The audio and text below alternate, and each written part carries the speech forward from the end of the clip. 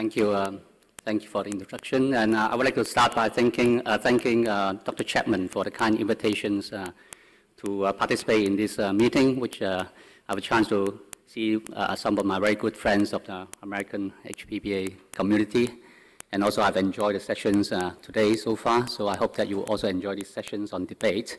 And um, I'm going to take the stand of um, saying that surgical resection ablation should be the preferred initial approach for early HCC in patients with preserved functions, including patients with Child's A cirrhosis. So, uh, of course, the management of HCC is challenging in that we are facing a patient with two diseases, and that is actually the reason why we have so much debate about this, the management of this disease. On one hand, we have um, highly malignant tumor which often grow quickly and prone to vascular invasion. And the other important problem is associated underlying cirrhosis in 80% of cases, which uh, have two implications. First, it impairs the liver function and sometimes limit the treatment options, despite the tumor being very early stage. And the other problem is, is a tendency to multicentric hepatocarcinogenesis. So currently, there are three uh, curative treatments for early HCC, uh, being liver resection, local ablative therapies, in particular radiofrequency ablation, and liver transplantation, and which is the best initial treatment option for an early HCC in A cirrhosis has been a debate for uh, many years, and I don't think it's going to be resolved uh, in the near future because I don't, uh, I wouldn't foresee any randomized controlled trials uh, regarding uh, these kind of treatment options, which is particularly difficult with transplantation as one of the options. But I think more and more data are being um, presented in the literature, which suggests that uh, proper liver resection or ablation should be the preferred initial treatment.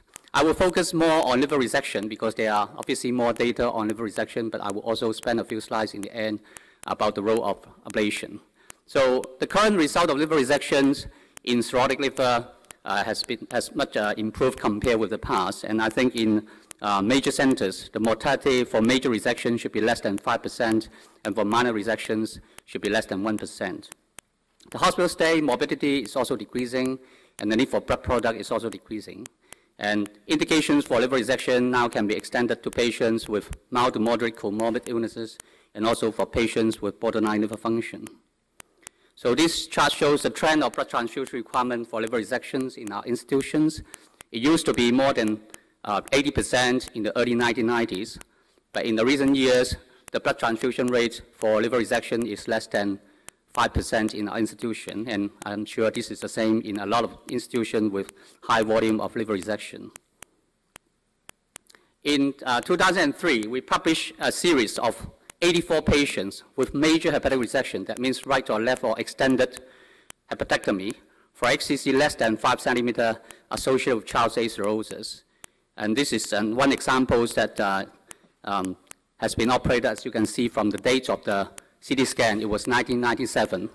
And this patient had a three centimeter tumors situated centrally, closely related to the right portal pedicle, and hence a right hepatectomy was necessary.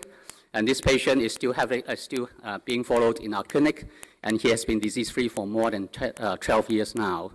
And of course, this is, you may think that this is an odd case, but uh, actually when we look at our database, we do have quite a number of patients who have been disease-free for more than 10 years after resection.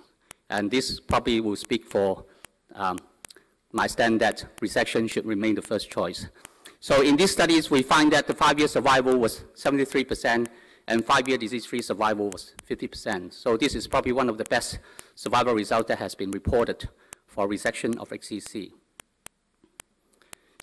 In recent years, there has been advances in laparoscopic uh, surgical techniques so that liver resection can now be performed by laparoscopic means. And these are a couple of examples, uh, small tumors that can be performed uh, by either segmentectomy or wedge resection. And this obviously has an important advantage in that the patient's uh, morbidity and also the hospital stay can be significantly reduced. Actually, both of these patients were discharged one day after the surgery. And this was not impossible, uh, this was not possible with uh, open surgery in the past. And also there's evidence that now that laparoscopic resections uh, probably confers similar oncological clearance compared with open surgical resection. And although there's no randomized trial yet, a meta-analysis of eight non-randomized comparative studies shows that there was no difference in oncological clearance, and there was reduced blood loss, reduced hospital stay, and probably reduced morbidity. So this will add the benefit of liver resection uh, compared with open surgery and enhance the value of liver resection for HCC. Now, what's the role of liver transplantation? It's well established that liver transplantation offers the best of cure for patients who have small HCC associated with Child C cirrhosis because these patients are not amenable to other curative options like resection or even ablations. And the four-year survival, as reported by Mazzaferro's uh, landmark paper, is 75%. So now the debate comes to the survival figures. When you look at the five-year overall survival, and in the literature, the resection group for Child A cirrhosis with small HCC less than 5 cm, the five-year survival was 70%. Transplantation is probably 70 to 80%, so it was similar. But the main argument in favor of transplantation is the much higher five-year disease-free survival. So for resection, the five-year disease-free survival in the literature was 40 to 50%, but for transplantation, its five-year disease-free survival was 60 to 70%.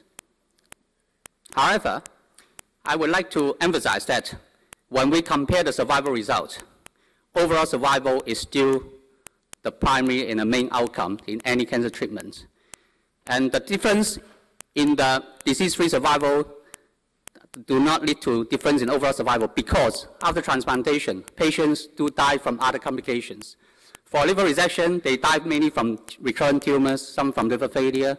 But for transplantation, they die from graft rejection, complicated immunosuppression such as opportunistic infections, second malignancies, and recurrence of viral hepatitis and cirrhosis. And I must say that all these complications are equally important as tumor recurrence, and we should not consider tumor recurrence as the main uh, outcomes that we assess when we compare the two. So because of the different nature of the treatments and associated long-term problems, overall survival rather than tumor recurrence-free survival should be considered the primary outcome in the comparison. So let's look at the uh, data in the literature. There are some retrospective comparative studies that directly compare liver resection with liver transplantation. And this is one study from a Barcelona group. In these studies, the authors compare 36 patients with resection and 37 patients with transplantation for solitary HCC less than 5 centimeter in child stage cirrhosis. The postoperative mortality was lower in the resection group, 0% versus 5.6% in the transplantation group. There were 17 long-term deaths after resection, and as you can see, most of these uh, deaths resulted from tumor recurrence. There were 11 long-term deaths after transplantation, only four from tumor recurrence, three from sepsis related to immunosuppression, and four from HCV recurrence. And if you take into account all these steps, then the median survival was 85 months in both groups, exactly the same. And when you even look at the 10-year survival, this study shows that the overall survival at 10 years was similar between the two groups. In addition to such comparison, one should also look at the intent to treat effect, because we know that for resection, we can perform the treatments immediately, whereas for transplantation, most of patients need to wait for the cadaveric graft, and some patients will drop out because of tumor progression and die before they receive the transplantation. So this is, again, a very important paper from the Spanish, from the Spanish group, Barcelona group. They compared the survival of 77 patients with HCC less than 5 cm resection as primary option versus 87 patients listed for transplantation, and there were eight dropouts on waiting list in the transplant group. And this study shows that the survival was similar between resection and transplantation. And actually, if you look at the candidates with